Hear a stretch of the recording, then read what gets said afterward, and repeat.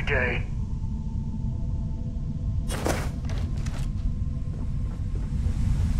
Captain, it is pleasant to see you.